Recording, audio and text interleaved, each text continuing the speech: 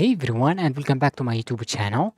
So in today's episode we are going to add the sliding to our 3D character so that we can slide and uh, avoid these obstacles.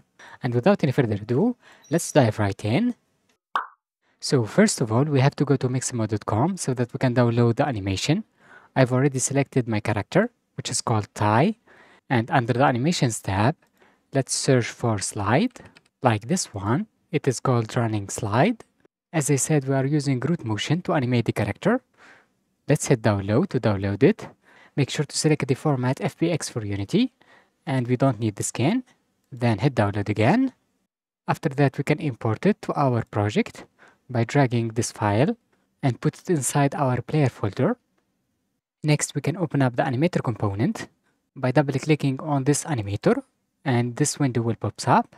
Let's drag our new animation and to be able to transition from running uh, to slide, we have to right click and make transition from running to running slide. Then we have to get back.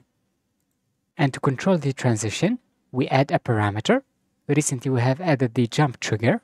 With the same way, we can add another one and call it slide.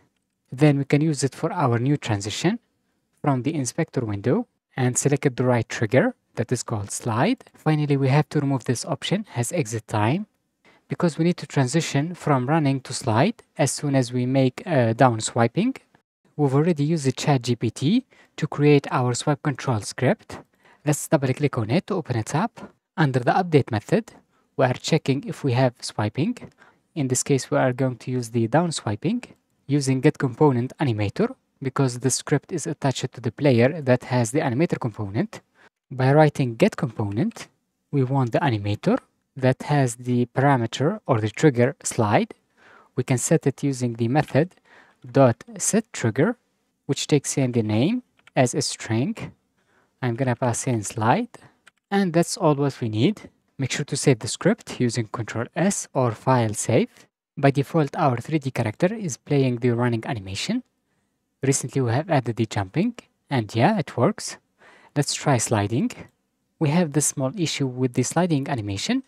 We have to select it from the assets and under rig, make sure to change the animation type from generic to humanoid. That's really important and hit apply. And we have to make something that is called bake into pose.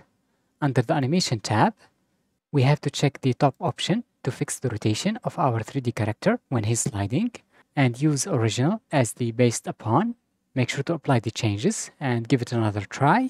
And now we'll be able to slide when we use a down swiping. So I think that's pretty much it guys for this video. I hope you like it. If you have any question or comment, make sure to write it under the comment section down below. And I will see you in the next one.